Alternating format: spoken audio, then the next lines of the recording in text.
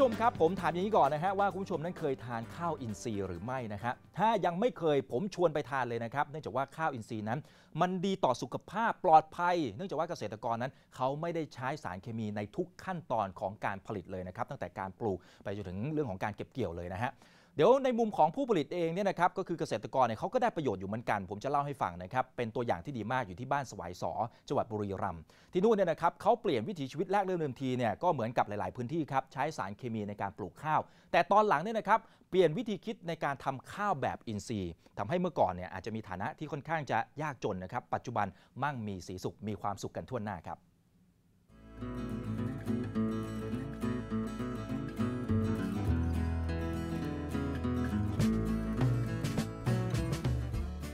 กลุ่มข้าวอินทรีย์แหล่งเรียนรู้ที่บ้านสวายสอตำบลสแกโพรงอำเภอเมืองจังหวัดบุรีรัมย์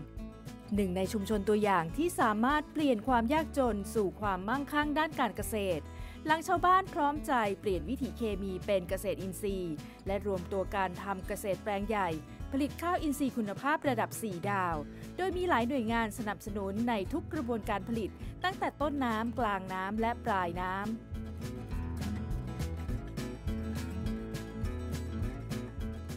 โดยเฉพาะอย่างยิ่งกรมการข้าวกระทรวงเกษตรและสหกรณ์ที่ต่อยอดให้ข้าวอินทรีย์ของบ้านสวายสอ เป็นหนึ่งในสุดยอดข้าวไทยที่ได้รับการยอมรับในท้องตลาด กลุ่มของเราก็จะถูกเป็น 21 แบรนด์สินค้า เป็นสุดยอดข้าวไทยอยู่แล้วที่ที่ดูแลเรื่องของกรมการข้าวที่เข้ามาดูแลนะครับกรมการข้าวจะช่วยอะไรบ้างนะครับ เช่น เรื่องการบรรจุภัณฑ์ เรื่องการตรวจมาตรฐานเนี่ยเขาให้อยู่แล้ว เรื่องการให้ความรู้ เรื่องการมาตรฐานอินทรีย์เขาก็ให้อยู่แล้ว เรื่องการลดต้นทุนการผลิต เรื่องเพิ่มมูลค่าในการผลิตนะครับ ก็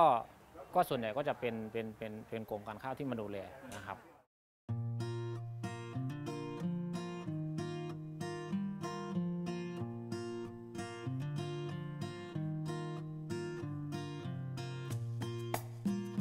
วิถีเกษตรยั่งยืนอยู่อย่างพอเพียงสร้างศักยภาพชุมชน มีการรวมกลุ่ม และจัดสรรปันส่วนรายได้อย่างเหมาะสม เพื่อให้ชาวบ้านทุกหลังคาเรือนมีรายได้อย่างเท่าเทียม ถือเป็นเป้าหมายแห่งความสุขของชาวบ้านที่นี่ และเป็นปัจจัยสำคัญที่ทำให้ลูกหลานไม่ต้องย้ายถิ่นฐานออกไปสู่เมืองใหญ่ และร่วมสืบสารวิถีชุมชน จากรุ่นสู่รุ่น ด้วยความเชื่อที่ว่าวิถีเกษตรอินทรีย์มีความยั่งยืนทำดีรายได้งาม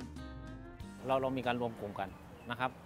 สมมุติว่ามีมีออเดอร์เข้านะครับเราก็เอากลุ่มของเราเนี่ยเรามาทำงานเช่นมีการคัดแยก มีการบรรจุ มีการส่ง มีการอะไรนี่เราก็เอาสมาชิก สมาชิกก็จะเกิดรายได้อีกรอบหนึ่งนะครับหลังจากขายข้าวแล้วก็จะมีมีรายได้จากตัวนี้มานะครับเช่นคนมาทำงานเราก็ให้ค่าแรงไป ข้าวอินทรีย์และวิถีเกษตรอินทรีย์กลายเป็นของดีเป็นองค์ความรู้ของบ้านสวายสอ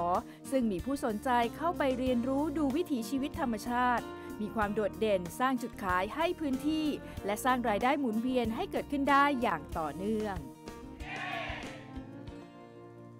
เนี่ยจะเห็นนะครับว่านี่เป็นชุมชนตัวอย่างที่เขาทำแล้วก็ประสบความสำเร็จและทุกคนก็มีความสุขเมื่อสักครู่นี้ร้องเฮไปพร้อม ๆ กันเลยนะฮะ พาคุณผู้ชมมาดูอีกหนึ่งแรงสนับสนุนนะครับที่จะทำให้เกษตรอินทรีย์นั้นเกิดขึ้นมาได้นะครับก็คือโครงการส่งเสริมการผลิตข้าวอินทรีย์ทำต่อเนื่องกันมาตั้งแต่ปี 2560 แล้วละครับแล้วก็จะต่อเนื่องกันไปจนถึงปี 2564 เป้าหมายคืออะไรครับ มาดูกันนะฮะเป้าหมายสำหรับโครงการนี้ก็คือ อยากจะให้เกษตรกรเข้ามาร่วมการผลิตข้าวอินทรีย์ รวมกันทั้งหมดเนี่ยนะครับ1ล้านไร่ครับเนี่ยอันนี้เป็นตัวเลขที่สูงมากๆนะครับเพียงแต่ว่าเขามองว่าอันนี้เป็นขั้นต่ำและอยากจะเพิ่มจำนวนนี้ให้มันเพิ่มมากขึ้นเรื่อยๆด้วยนะครับโดยผู้เข้าร่วมโครงการจะได้อะไรบ้าง อย่างแรกได้เงินอุดหนุนครับ อย่างที่ 2 ได้ปัจจัยการผลิตก็คือเมล็ดพันธุ์นั่นเอง ใจดีมากเลยนะครับ เพียงแต่ว่าอาจจะต้องมีข้อแลกเปลี่ยนบ้างนะครับ คือเกษตรกรนั้นจำเป็นจะต้องมีการปรับเปลี่ยนการผลิตให้ถูกต้องตามมาตรฐานข้าวอินทรีย์ และจะต้องมีการตรวจสอบด้วยนะครับเรื่องของคุณภาพ แล้วถึงจะได้รับการรับรองตามมาตรฐาน Organic Thailand ในท้ายที่สุดนะครับ ถึงแม้ว่าอาจจะต้องใช้ความพยายามกันสักหน่อย แต่ว่าก็ส่งผลดีต่อเกษตรกรในแง่ของการผลิต ไม่ใช่เฉพาะในมุมของการผลิตเท่านั้นนะครับ แต่เราพาคุณผู้ชมนั้นมาดูในมุมของการตลาดด้วย จะมี 8 แนวทางด้วยกันเดี๋ยวไล่เรียงกันไปทีละข้อเลยนะครับสำหรับแนวทางแรกก็คือการจัดทำฐานข้อมูล อันนี้เป็นสิ่งที่สำคัญมากๆ ยุคนี้เป็นยุคของฐานข้อมูลนะครับใครที่มีข้อมูลเยอะเท่าไหร่ ก็ยิ่งมีโอกาสในการต่อยอดได้มากเท่านั้นนะครับโดยการจัดทำฐานข้อมูลที่ว่าเนี่ยนะครับก็จะเป็นการรวบรวมเอาข้อมูลในทุกมิติเลยครับเพื่อใช้ในการวางแผนการผลิตการจัดจำหน่ายแล้วก็การสร้างความเชื่อมโยงของกลุ่มผู้ประกอบการ และก็ผู้บริโภคด้วย นั่นคือแนวทางที่หนึ่งครับ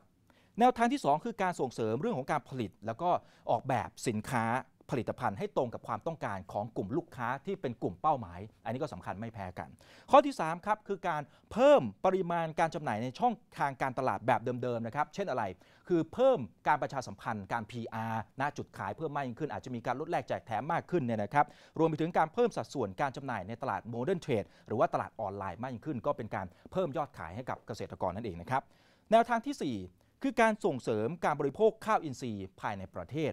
5 ครับคือการสร้างแบรนด์ loyalty คือพูดง่ายคือการสร้างประสบการณ์ที่ดีให้กับแบรนด์สินค้าของท่านให้ตรงใจกับผู้บริโภค และเขาก็จะจำแบรนด์สินค้าของท่านได้นะครับ ข้อที่ 6 คือการส่งเสริมระบบตลาดอินทรีย์ที่มีความเป็นธรรมให้กับเกษตรกรที่จำหน่ายผลผลิต โดยตรงให้กับลูกค้านะครับ ซึ่งก็จะมีความสะดวกแล้วก็ได้ราคาที่ยุติธรรมนะฮะไม่ถูกเอารัดเอาเปรียบนั่นเอง ข้อที่ 7 ครับ คือการส่งเสริมกลยุทธ์การทำการตลาด สร้างความแตกต่าง หรือว่าคิดผลิตภัณฑ์ใหม่ๆ ต่อยอดไปเรื่อยๆ ไม่หยุดนิ่งนะครับและข้อที่ 8สำคัญไม่แพ้กัน คือการสร้างผู้ประกอบการเกษตรอินทรีย์รุ่นใหม่นะครับ สังเกตนะครับว่าไม่ได้ใช้ว่าเกษตรกร แต่ว่าเป็นผู้ประกอบการเกษตรอินทรีย์รุ่นใหม่นั่นเอง เพราะฉะนั้นนี่คือความสำคัญนะครับที่เราอยากจะส่งเสริมให้เกษตรกรนั้นได้มีการปรับเปลี่ยนวิธีคิดนะครับ